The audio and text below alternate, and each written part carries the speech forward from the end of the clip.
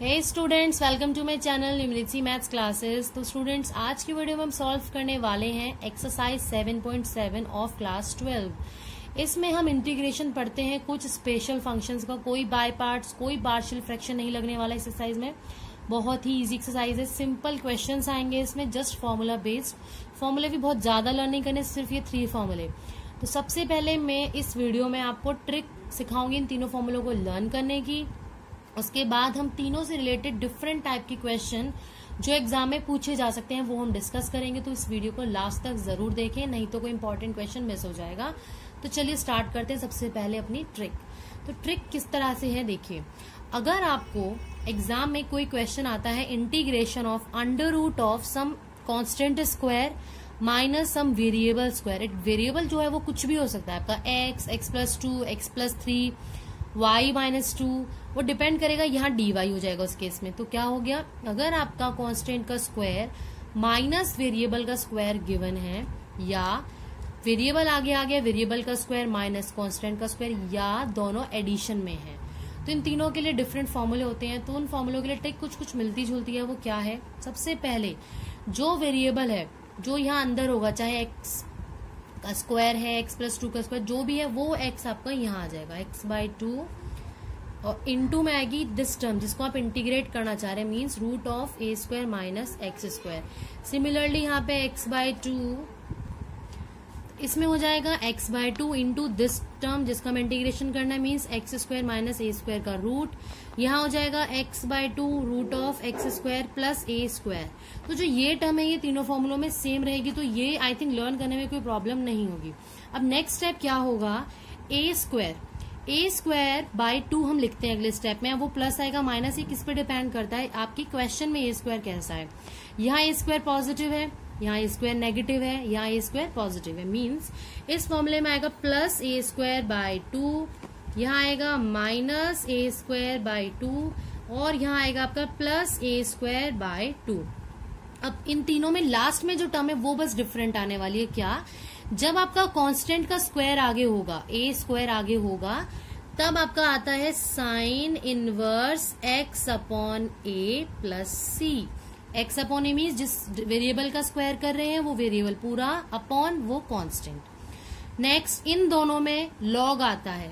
कैसे लिखते हैं? Log of mod of x plus x plus जिस टर्म का आप इंटीग्रेशन कर रहे हो, वो as it is root of x square minus a square plus c इसमें क्या आएगा आपका? देखिए ध्यान से। Log of mod of x plus plus दोनों में ही आएगा। अंदर वाली टर्म जो क्वेश्चन में पूछा गया, वो आपका एज इट इज़ लिख देना है आपको। X square plus a square plus c तो ये थे तीन फॉर्मूले अब इन फॉर्मूलों पे बेस्ड हम डिफरेंट टाइप के क्वेश्चंस डिस्कस करेंगे। फ़र्स्ट क्वेश्चन है हमारा, आपकी टेक्स्ट बुक एक्सरसाइज 7.7 का ही है question under root of one minus four x square. तो आप इसको क्या लिख सकते हैं? बहुत इजी क्वेश्चन है। A square minus x square वाली टर्म या x square minus a square वाली टर्म में हमें लिखना है। तो वन को मैं वन का स्क्वायर लिख सकती हूँ। माइनस फोर एक्स स्क्वायर को क्या लिख सकती हूँ? टू एक्स का होल स्क्वायर अब आप क्रॉस चेक करो, ये कौन सा हुआ? A square minus x square वाला हुआ ना फ़र्स्ट वाला। तो क्या बताया था? देखो फॉर्मूला नहीं देखेंगे। अभी जो हमने याद करने का तरीका बताया था, उसी से करेंगे। X upon two x means ये वेरिएबल पूरा तो पूरा variable is two x two x upon two into under root of a square minus x square means जो आपको करना था एज इट इज़ वही लिख दो तो आप यही ना लिख दो। One minus four x square directly ये लिख देते हैं।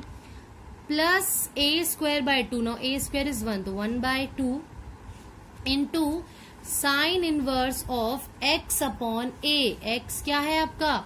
X is your two x two x upon a is one plus c तो your answer is two c two cancel x into root of one minus four x square plus one by two sine inverse two x plus c ये था question first now next question is under root of x square plus four x plus six तो सबसे पहले इस question को देख के घबराना नहीं है। क्या करना है? कंप्लीटिंग द स्क्वायर मेथड आप अच्छे से जानते ही हैं। आपको वो मेथड यूज़ करना है। तो मैं एक बार फिर से रिवाइज करा दू कंप्लीटिंग द स्क्वायर मेथड होता क्या है? कंप्लीटिंग द स्क्वायर मेथड में आपको करना क्या होता है? सबसे पहले कॉफिशियंट ऑफ़ एक्स स्क्वायर हम चेक करते हैं वन है या नहीं है। क्या करते हैं? Coefficient of x square should be one उसको वन आपने बनाना है।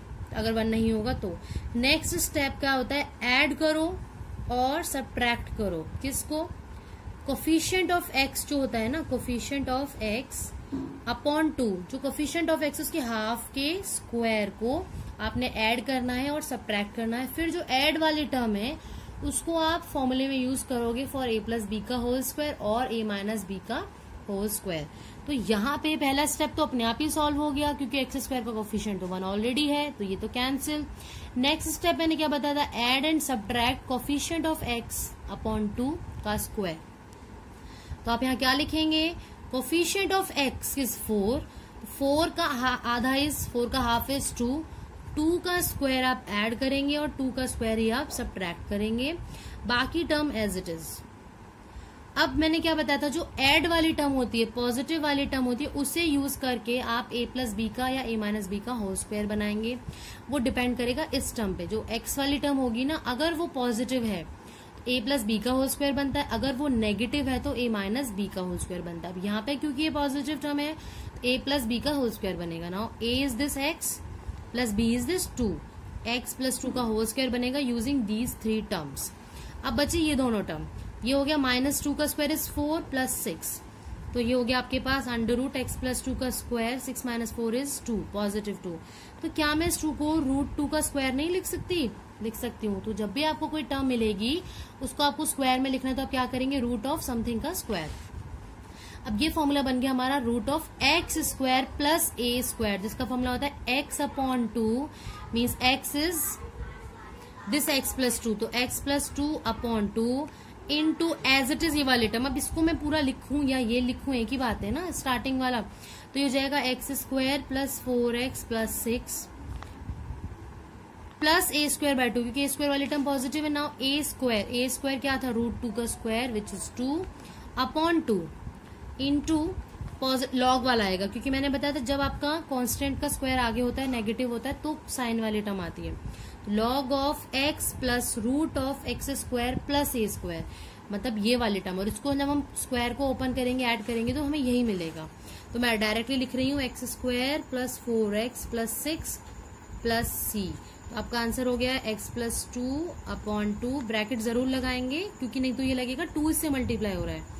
X square plus four x plus c two से two cancel it is one तो वन ना लिखें तो भी कोई ज़रूरत नहीं है। तो x plus root of x square plus four x plus six plus c तो क्वेश्चन नंबर टू एक लास्ट टाइप का क्वेश्चन और डिस्कस कर लेते हैं. एक क्वेश्चन है, ये भी आपके एनसीआरटी टेक्स्ट बुक एक्सरसाइज का ही है. Root of one minus four x minus x square मैंने क्या बताया था फ़र्स्ट क्वेश्चन एक्स स्क्वायर का कोफिशियंट आपका वन होना चाहिए प्लस वो पॉजिटिव भी होना चाहिए, लेकिन यहाँ आपका एक्स स्क्वायर का कोफिशियंट वन तो है. आप देखेंगे तो माइनस वन बोल सकते हैं माइनस वन है. तो उसको वन बनाने के लिए आप माइनस साइन कॉमन ले लेंगे सभी में से. तो ये क्या बन जाएगा? अंडर रूट ऑफ़ मैंने माइनस साइन कॉमन लिया। माइनस साइन कॉमन लेने पे क्या होगा? जो माइनस वाली टर्म है वो प्लस की बन जाएँगी। और जो प्लस वाली टर्म है वो माइनस की बन जाएगी। उससे कोई फ़र्क नहीं पड़ा, मैंने माइनस साइन कॉमन ले लिया।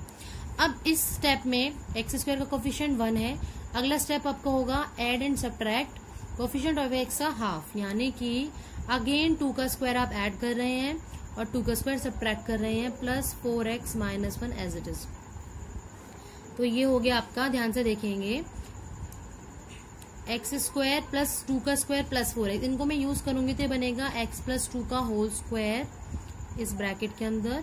और ये क्या आएगा? देखो माइनस टू का square is minus four minus one minus five हो जाएगा। तो ये आपके पास आ गया है।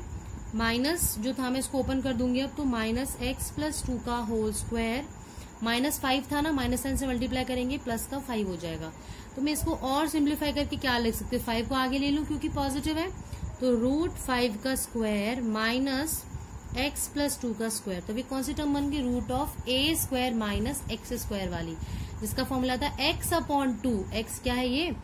X upon two into root of a square minus x square तो जो कि क्या होगा? ये सेम क्योंकि इसको सिंप्लीफाई करने पे आपको यही मिलता है finally one minus four x minus x square आप एक स्टेप में करके दिखा देंगे रूट ऑफ़ ये वाला लिख देंगे स्क्वायर माइनस एक्स स्क्वायर अगले स्टेप में आप ये लिख देना डायरेक्टली अभी मैं डायरेक्टली लिख रही हूँ टाइम सेव करने के लिए. आप पहले ये स्टेप लिखेंगे फॉर्मूले के अकॉर्डिंग एंड देन आप ये वाली वैल्यू पुट करेंगे.